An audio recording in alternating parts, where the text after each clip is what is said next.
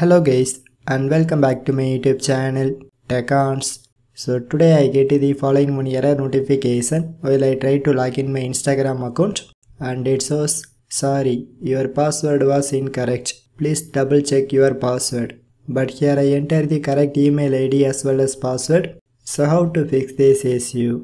So before going to our tutorial, first of all, why this issue happening? And sometimes this is occurs due to the unusual login activity which means that if you move from India to US or any other country, your system IP address is also changed to a new one. But this Instagram team will verify your IP address in every login process. So if maybe your IP address is new one, they are showing this kind of message even if you enter the correct login credentials.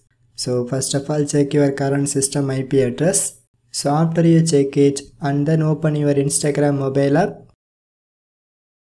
So now in this login page section, you can press get help logging in and then they ask for my email ID or phone number or username and which one is linked with your Instagram. And here I already linked my email ID with this Instagram account. So I try to put my email ID.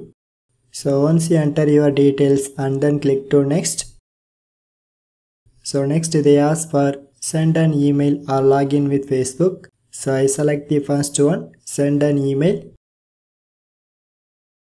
So now they send the one verification link to my email ID. So I try to check it. And this is that email. So here you can select reset your password and then choose Instagram app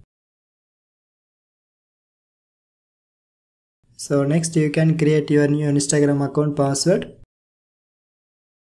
So once you enter the new password and then press reset password.